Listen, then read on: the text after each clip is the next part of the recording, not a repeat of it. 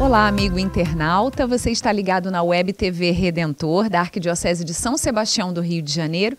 E nós estamos juntos mais uma vez num episódio do programa Clique Caminhando à Luz da Iniciação Cristã. No episódio de hoje, para a gente começar, como a gente sempre costuma fazer, queremos trazer para você a reflexão desse trechinho, esse versículo da Epístola de São Paulo a Timóteo, a primeira epístola, capítulo 4, versículo 12, na qual nós lemos assim: Ninguém te despreze por seres jovem. Ao contrário, torna-te modelo para os fiéis, no modo de falar, de viver, na caridade, na fé, na castidade. Olha só que bonito. Não é pela idade, muitas vezes, que a gente mede a maturidade, mas sim pela santidade, que é graça de Deus. E para a gente falar justamente sobre a questão da juventude e, mais especificamente, sobre a iniciação à vida cristã de jovens e adultos, que hoje está aqui conosco, a Jandira, que é coordenadora da ela, ela, ela, faz parte da comissão arquidiocesana, trabalhando com a iniciação à vida cristã de jovens e adultos. Muito obrigada, Jandira, pela sua presença aqui conosco. E, Jandira, você veio hoje aqui para trazer algo muito especial que vai acontecer agora em breve na nossa arquidiocese. O 13º seminário, justamente para a formação de catequistas que trabalham com jovens e adultos. Conta um pouquinho para gente qual vai ser a temática, de onde veio a inspiração para a formação desse ano de 2019.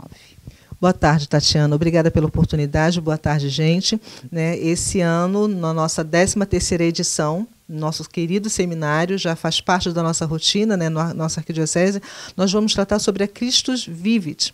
Né? É a última exortação pós-sinodal do Papa falando para a juventude.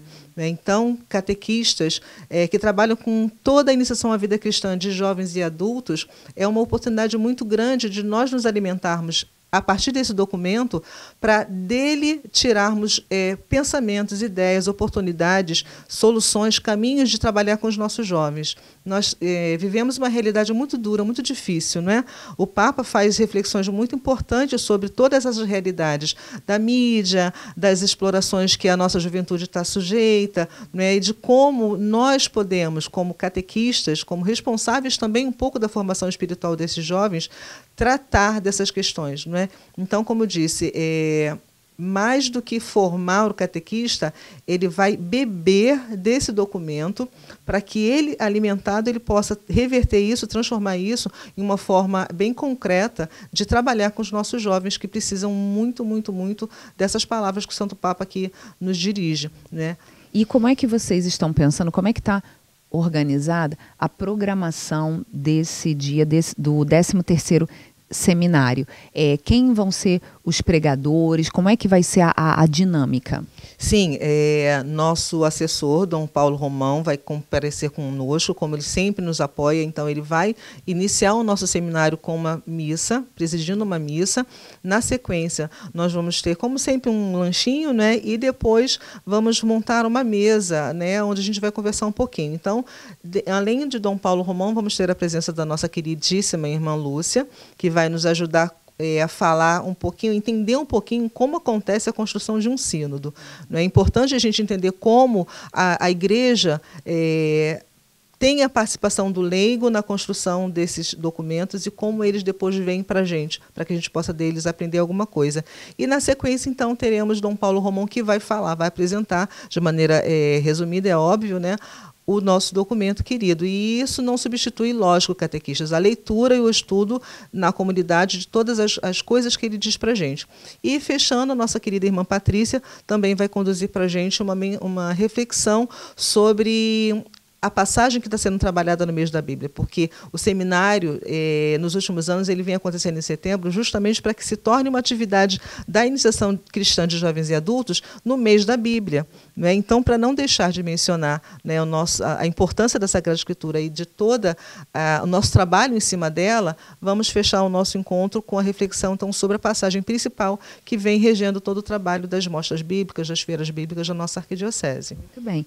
Jandira, a gente quer pedir então para que você faça o convite para as pessoas que estão assistindo a gente. Diz dia, horário, local, se paga alguma coisa, como fazer a inscrição. Faz o convite para o pessoal que está nos assistindo.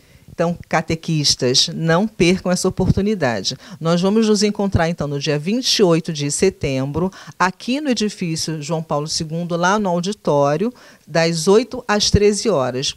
A inscrição será feita online através de um link que nós vamos divulgar em todas as redes sociais que estão vinculadas ao nosso trabalho, ao nosso blog, Instagram, tudo que nós temos, não é? Então lá nesse link você vai clicar, vai fazer a sua inscrição dos catequistas que você pretende trazer e no momento da sua inscrição você já vai ficar sabendo qual é a programação e qual é o lanche que será partilhado. Então, por vicariato, quando você seu vicariato é Leopoldina, lá você vai ver o lanche que cabe ao Leopoldina, tá certo? E ali você pode colocar quantos catequistas você pretende trazer para o nosso congresso, ou para o nosso seminário. Importante, aqui no João Paulo II nós temos vagas limitadas, então não deixa para a última hora, porque a gente vai ter que encerrar quando chegarmos ao número que está determinado aqui para a gente disponibilizar. Tá certo?